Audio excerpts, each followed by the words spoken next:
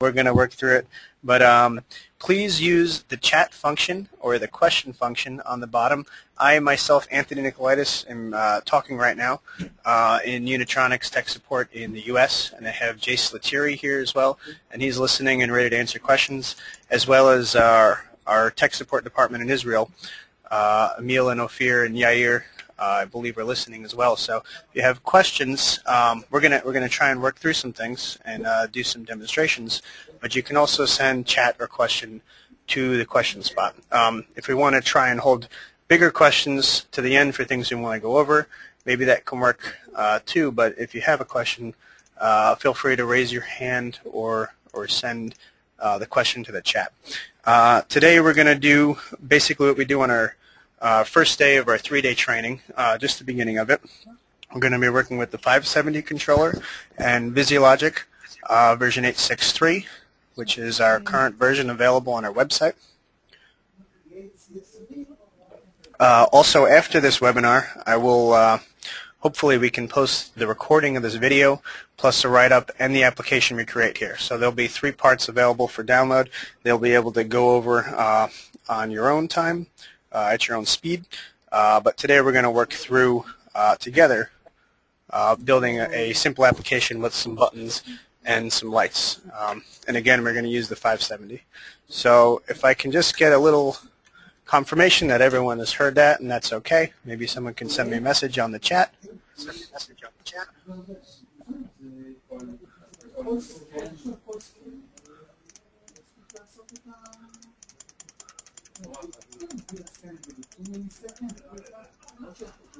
Uh, okay, looks good.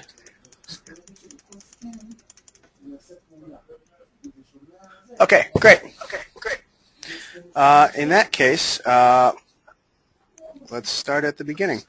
We're going to open VisiLogic. VisiLogic is the programming environment that we use for all of our uh, Vision series controllers. That would be the V100 series, uh, 200 series, the 130, the 350, and the 500 series. Um, again, we're going to work with the 570, which is the 5.7-inch color touchscreen. Uh, we're going to click on Project and New. Uh, we won't save our previous project. What we get when we open a new project is the hardware configuration menu.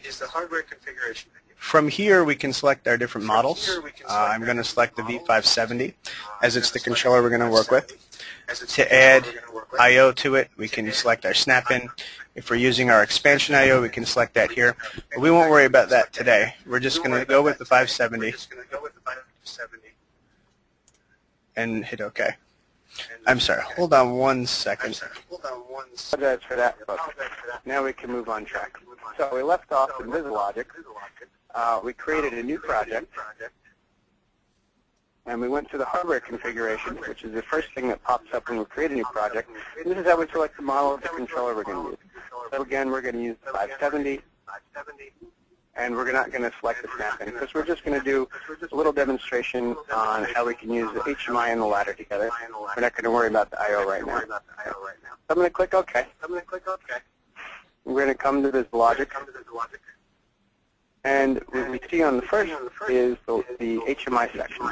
Uh, we can use the navigator here on the left, and we notice that we have ladder and HMI. I can expand under ladder.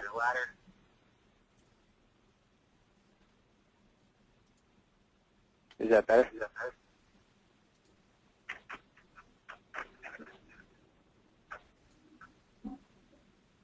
Under the main routine here, we see our ladder section. Uh, we will be using this in a bit, but let's go to the startup display section first. Um, what we're going to do today is create a series of buttons on the HMI and also binary images, or what we're going to represent as light that we're going to output.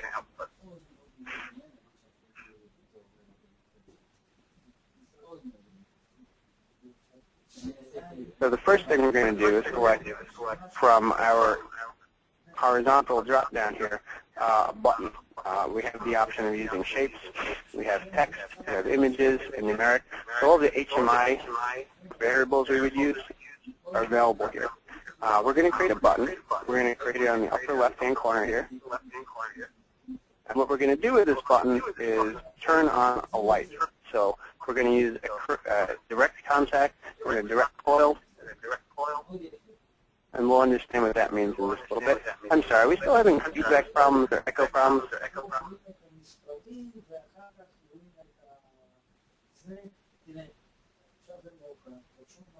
Okay, I see a lot of. Is, are we able to continue like this?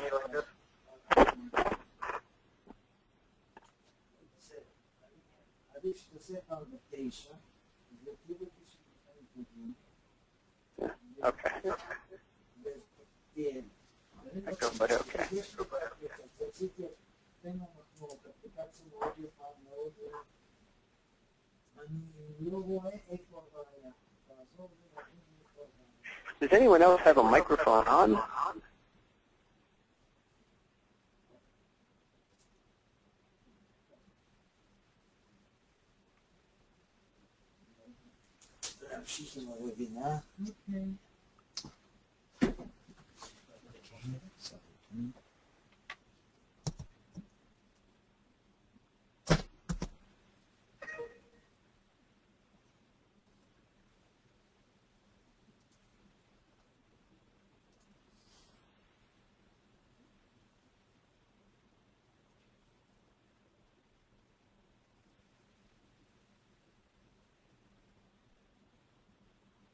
Okay. Okay. Maybe that will work better now.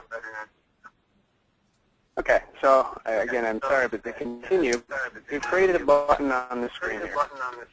What we need to do is link it to some bit that we can use in our system. So underneath, we see touch property. We're going to select here, and it brings up our select operand and address menu. We'll be using this quite a bit this is how we link all of our operands to all of our variables, to select operand and address. Uh, if we notice that we have MB selected, uh, again, we'll discuss what MB is, but for right now, uh, this is the only operand type that we have that we can link to a button. So we're going to go ahead and we're going to click on the drop down here. We can see all of the memory bits we have available in the system, 0 through 8191 we're going to use memory bit 0. And what we're going to do in order to keep track of it is give it a description. So we're going to call this button 1. Okay, and we're going to hit OK here. So what we've done again is we've used the button variable, and we drew a button out on the HMI, and we used the touch property, and we've assigned it a bit. So this means whenever we touch the button, this bit will go high. And we'll talk about that in the latter side. So that's our input. Uh, we can think of it as we're simulating an actual button if we had it uh, connected to a digital input. But it's very nice that we have a touch screen. We can easily simulate uh, a, an actual button. So we're going to close this. The next thing we're going to do is to simulate an output is use a binary image. So if we come back to our variables, we notice we have an image section, and underneath that we have bitmap. This would be a static image. But we're going to use the binary image. So what the binary image is, is a variable that's going to display one image if a, the bit we have linked to it is high, and one image if the bit is low. Um, specifically, we see that we have two available spots to link uh, images to. Uh, so we're going to hit Browse here. What we're doing on this left side is linking to the zero state some image. Um, what we have included in VisiLogic is an image folder uh, we should default to by default, but it's under uh, Unitronic install file folder, uh, data, and image C. Um, image C is color images. We also have black and white under image. Uh, but we're going to use LEDs. We're going to use a red and a green just to simulate high and low. So I'll select the red and hit OK.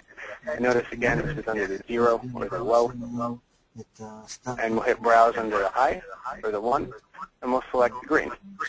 And we see now on our HMI, we have the red and the green. If we'd like, we can select here, and we can display a specific color. Uh, it doesn't really matter, but what we need to do, again, is link to some memory. Now I'm going to go ahead and click the ellipse here. Again, we see the link function. Uh, we can drop down and see all the different operand types we can use. Again, this is a binary image, so we can link it to a binary operand.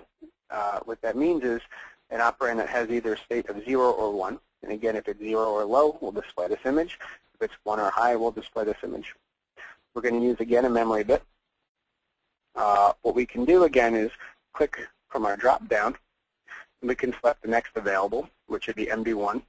Or if we know